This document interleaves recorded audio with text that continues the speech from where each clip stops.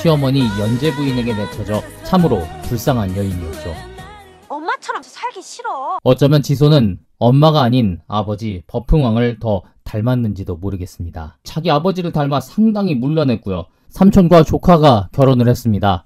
두 번째 남자는, 세 번째 남자는, 네 번째 남자는 결혼한 게 아닙니다. 그냥 사통을 한 거예요. 아빠 미쳤어? 엄마 미쳤어? 미친 거 아닙니까? 어떻게 자기 뱃속에서 낳은 아들과 딸을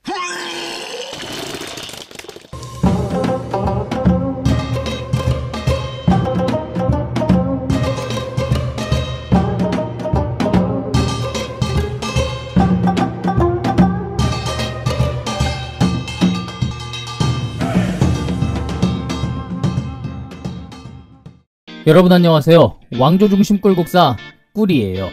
버프광은 자신의 정비, 조강지처였던 보도 부인을 별로 좋아하지 않았습니다. 뭐 처음부터 보도 부인을 싫어했다기보다 원래가 난봉꾼인 성격 탓에 한 사람에 만족하지 못하고 이 여자 저 여자 건드리는 게 일상이 되다 보니 조강기처에게 상처를 주게 됐죠. 게다가 이게 심해져 결국 보도 부인은 시어머니 연재 부인에게 내쳐져 결국 평생을 절에서 비구니로 살아야 했습니다. 참으로 불쌍한 여인이었죠. 하지만 그녀의 딸 지소는 달랐습니다. 버풍왕이 이 여자 저 여자 건드리면서 돌다가 잠시 보도 부인에게 돌아와 낳게 된 딸이었는데요. 엄마처럼 살기 싫어. 이 지소 부인은 자기 엄마처럼 당하고만 살진 않았습니다. 어쩌면 지소는 엄마가 아닌 아버지 버풍왕을 더 닮았는지도 모르겠습니다. 왕조 중심 꿀국사 사상 처음으로 왕이 아닌 그것도 남자가 아닌 그것도 여왕도 아닌 한 여자를 중심으로 가계도를 그려봅니다. 이미 몇 시간 진도를 진행하면서 여러분들 아셨겠습니다만은 신라는 왕족 간의 혼인 관계가 굉장히 복잡했습니다. 뭐 아무리 고대 신라라지만 이거는 정말 인류를 넘어선 너무한 거 아닌가 싶을 정도의 그런 복잡한 혼인 관계가 이들 사이에 형성돼 있었는데요.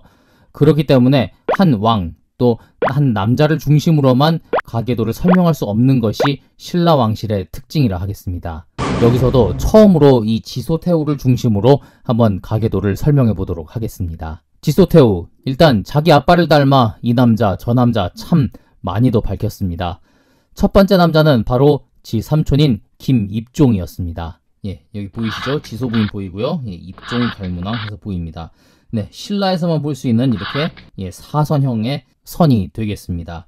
자, 다른 왕조에서는 전부 이렇게 예, 가로, 뭐 그러니까 아들로 이어진 가로 또는 부부로 되는 세로 이렇게만 나타난다면은 예, 여기에는 이렇게 우리가 상상할 수 없는 그런 사선 형태가 나오는 겁니다.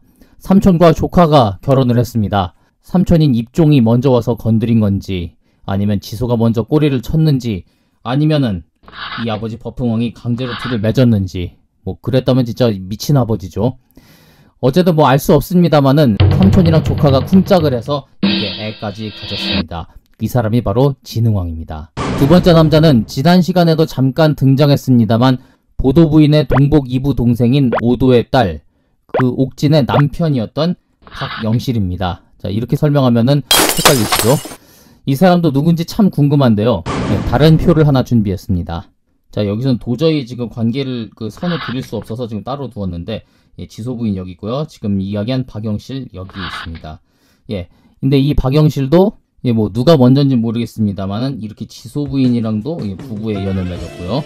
그리고 지난 시간에 이야기했었던 예, 어, 보도 부인의 동복 이부 동생 오도와도 예, 한때 부부의 연을 맺었습니다. 그런가 하면은 지난 시간에 이 옥진 버풍왕의 셋째 부인이었죠. 이 옥진 이야기할 때 잠깐 말했습니다만은 이 옥진이랑도 한때 예, 부부의 연을 맺었습니다. 그러니까 이게 예, 엄마와 딸이 동시에 한 남자와 부부의 연을 맺은 겁니다. 네, 상상할 수가 없을 정도로 미친 관계죠. 그런가 하면은 이 오도와 결혼을 해서 딸을 하나 낳는데 이 사람이 진흥왕의 첫째 부인인 사도 부인입니다. 뭐 일단 이 박영실이 맺었던 여러 여자와의 관계는 나와 있습니다만은 그 이외에 이 사람이 어떤 사람이었는지 제가 가진 책에는 설명이 별로 없었습니다. 먼저 이 지소 부인의 첫 번째 남편이라고 할 수 있는 입종 갈문왕, 네, 삼촌이었죠. 이 입종 갈문왕은 자기 형 버풍왕보다 먼저 죽었습니다. 그래서 이 아버지인 버풍왕이 딸이 외로울까봐 두 번째 남편으로 박영실을 지정을 해줬다고 하네요. 아빠 미쳤어? 이걸 왜 아빠가 마음대로 지정을 할까요? 뭐 그래서 그랬는지 처음부터 뭐 싫어했는지 몰라도 이 지소 부인은 나 걔 싫어. 걔 미치게 싫어. 이 두 번째 남편, 두 번째 남자인 박영실을 별로 좋아하지 않았습니다. 이것이 어디까지 여파가 나타나느냐? 박영실이 이 오도랑 결혼해서 딸을 낳았잖아요. 이 딸이 나중에 자기 며느리가 되는 건데 지소 부인의 아들 진흥왕이고 그 부인이니까 며느리가 되는 건데 이 며느리를 굉장히 싫어했다고 합니다. 이 싫어하는 정도가 너무 심해서 나중에 부정이 이게 양분될 정도가 됩니다. 앞서 버풍왕 때 뭐 여기 보도부인 같은 경우에도 예, 시어머니와 사이가 좋지 않았었죠. 앞에 시어머니 연재부인과 사이가 좋지 않았는데 어머니, 어머니 아들이 바람을 폈다고요. 남자가 사회생활 하다 보면 바람을 피울 수도 있는 거죠. 네가 오죽 매력이 없었으면 남자가 바깥으로 돌아. 예, 보도 부인은 힘이 없었습니다. 그래서 그냥 예, 시어머니에 의해서 예, 내쳐진 걸로 끝났습니다만은 진흥왕 때 어머니였던 지소 부인 그리고 부인인 사도 부인은 둘 다 집안 배경이 빵빵했습니다. 내가 네 시어머니라고. 그렇지. 내가 며느리라고 어쩌라고. 둘 다 힘이 있다 보니까 결국 붙는 거죠. 그리고 조정이 찢어지게 되는 겁니다. 상당한 여파가 나타납니다. 세 번째 남자는 여러분들도 잘 아시는 또 울릉도 독도 역사에서도 많이 언급이 되는 이사부입니다. 참고로 이 두 사람은 결혼하지도 않고 그냥 공주와 예, 신하의 관계로만 머물렀습니다. 그런데 이 사이에서 무려 일남 3년아 낳았다고 합니다. 예, 상당히 많은 자녀들이 있죠. 아마 지소가 정말 사랑했던 사람은 이 이사부가 아닌가 싶은데요. 그래서 그런지 이 지소는 이후, 이후로도 이사부의 뒤를 정말 잘 봐줍니다. 물론 이사부가 실력이 있는 것도 있었지만 이 당시 신라 조정에서 출세할 수 있었던 데는 아마 애인이었던 이 지소태후의 뒷배경이 가장 크지 않았나 싶은 생각이 듭니다. 그리고 이 둘 사이에서 태어난 여기 숙명공주라고 하는 딸이 있는데요. 둘째 딸이죠.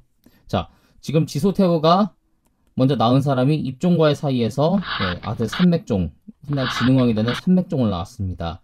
그리고 이사부와의 사이에서 숙명을 낳았어요.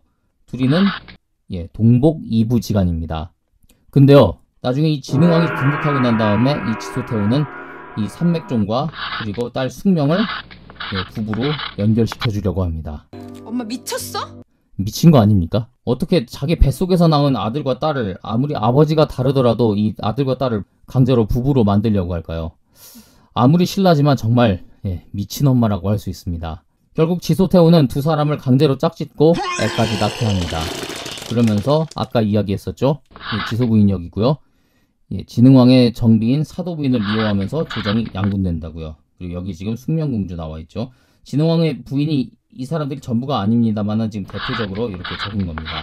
이렇게 진흥왕과 숙명공주 사이에서 애까지 낳게 하는데요. 이 애가 나중에 또 왕이 오릅니다. 25대 진지왕이죠. 그리고 네 번째 남자는 지금 지난 시간 버풍왕 때 가게도인데 예, 여기 위화랑 기억나시죠? 예, 오도가 사랑했던 남자 그리고 이 사이에서 옥진과 금진이라는 딸까지 낳게 되고요. 이 위화랑의 아들인 예, 이름이 비슷한데 이화랑이란 아들이 있습니다. 아, 참고로 어, 이 위화랑에 대해서 말씀드리면 여기 버풍왕 때 지난 시간 이야기 못한 부분이 있는데 벽화 부인 있죠. 신라 850의 딸이었는데 이 사람이 딸이고 그 850의 아들이 위화랑입니다. 그러니까 둘이 남매지간이에요. 둘이 남매 지간이고 여기가 누나고 예, 여기가 누, 누나고요. 여기가 예, 동생이었다고 합니다. 예, 참고로 이렇습니다. 예, 그 위화랑의 아들인 이화랑과도 관계를 가져서 이 결혼한 게 아닙니다. 그냥 사통을 한 거예요. 이화랑이 이화랑이 또 나중에 또 궁궐에도 여러 여자들과도 관계를 맺게 됩니다. 이렇게 해서 예, 딸 만우를 낳게 된다고 합니다. 아무튼 지소태우 역시 자기 아버지를 닮아 상당히 문란했고요. 이 사람의 이런 행동 하나하나와 또 관계를 맺었던 인물들 모두 신라 역사에 상당한 영향을 뭐 좋든 나쁜 여러 가지 영향을 주는 인물들이 됩니다. 자, 오늘이 진흥왕 시간인데 어떻게 보면 시작부터 진흥왕 엄마 이야기만 그것도 여러 가지 문란한 그런 관계 이야기만 출창했습니다. 그도 그럴 것이 이 지소태후의 영향력이 신라 왕실에서 막강했고요. 진흥왕이 7살이란 어린 나이로 등극했습니다. 그러다 보니 사실 진흥왕 초반 10년은 섭정을 했었던 이 지소태후의 시대라 해도 과언이 아니었던 겁니다. 지소태후는 이미 버풍왕 말기부터 조정에서 상당한 권력을 형성하고 있었습니다. 버풍왕이 아들이 없진 않았습니다. 여기 보시면 예, 비대란 아들도 있고요. 또 모량이란 아들도 있었습니다. 아마 알려지지 않은 아들들이 더 있을 수도 있어요.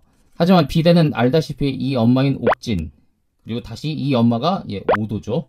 그 이 아버지는 예, 묘심이라고 하는 일개 승려였습니다. 신라는 초기부터 골품을 매우 중시하는 사회였습니다. 그런데 이 묘심은 승려 그리고 이 당시에는 불교가 공인되지도 않았을 때예요.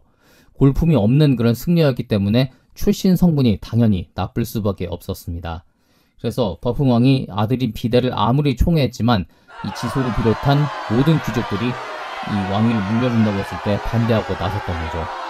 오죽했으면은 이 비대 외할아버지라 할 수 있는 미화랑까지 반대했겠습니까? 이 밖에도 모량이 있습니다만은 뭐 엄마가 백제 공주 출신인데다가 예 아버지가 이 형이었던 비대만큼 그렇게 총애하지도 않았습니다. 결국 버풍왕 당시 신라 왕실에는 왕위를 이을 만한 그런 정통성 있는 왕자가 없었고 가장 유력한 왕위 계승자는 예, 버풍왕의 동생이었던 이 입종 달문왕 그리고 예, 버풍왕의 딸인 시소 이 두 사람이라고 할 수 있겠습니다. 거기다가 이 두 사람이 부부가 됐으니까 예, 사실 신라 왕실에서 이들 세력을 넘볼 수 있는 귀족은 아무도 없었다고 봐야겠죠. 그런데 남편이었던 김입종이 아버지인 어, 버풍왕보다 그러니까 자기 형보다 먼저 죽었기 때문에 사실상 후계의 초점이 이 지소에게 맞춰져 있었는데 이 당시 신라에서는 이 지소가 곧바로 왕위를 이었어도 전혀 이상할 것이 없는 분위기였습니다. 아마 실제로 그렇게 됐다면 신라 최초의 여왕은 예, 바로 이 지소로 바뀌었겠죠. 그래도 지소는 그렇게까지 모험을 하진 않았습니다. 어쨌든 최초의 여왕이 된다는 것은 그만큼 여러 가지 시선과 또 부담을 감내해야 하는 일일 텐데 그렇게까지 하지는 않았던 거죠. 그 대신 자신의 어린 아들을 앞세워서 실질적인 권력을 행사하는 길을 택했던 겁니다. 아무튼 이렇게 540년 7월 버풍왕이 죽고 지소의 어린 아들 삼맥종이 7살의 나이로 왕위에 오르니 이 사람이 24대 진흥왕입니다.